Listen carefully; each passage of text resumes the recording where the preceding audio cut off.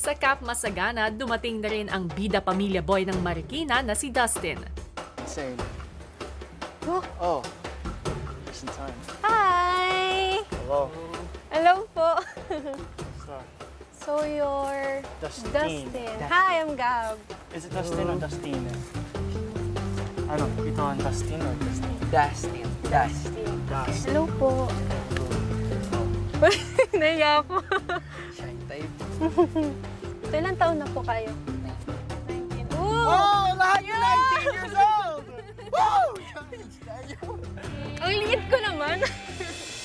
Samantala sa Camp Matyaga, dumating na ang shy dream boy ng Quezon City na si Ashton. May papada, may papada. Oo. Mag-ready ba?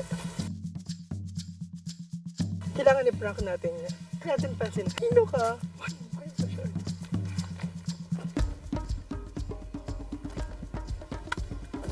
Hello. Hello. Good afternoon. Ang pangalan mo? Ashton. Oh, Ashton. I know you. Hi. I know you. Ha? Yeah. Si Ashton. Wait. Basta I know you. Kilala ko, kilala ko din ito eh. Ay, I know na. Alam ko na. Alam ko na. Bola-bola. Tama ba? Oo, oh, sabi ko eh. Nag-workshop tayo. Anong project mo? Galing akong MMK last... Kailan ba? Last two weeks ago. Ikaw got a friend. Ikaw? School. School.